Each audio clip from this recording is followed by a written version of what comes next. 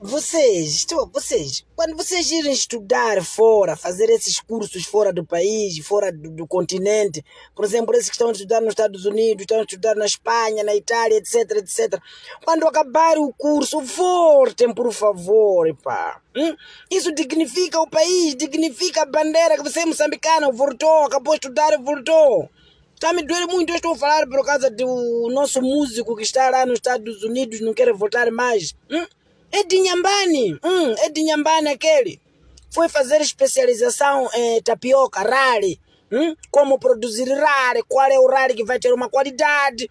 Hum, acabou de fazer o curso, ficou lá, meteu-se na música, agora singrou na música. Teríamos um grande cantor de Nhambane. É verdade. Estou a falar do Fili Cores, mudou nome, mudou até nome. Aquele é Felipe Costa, é Felipe Costa, aquele de Nhambane.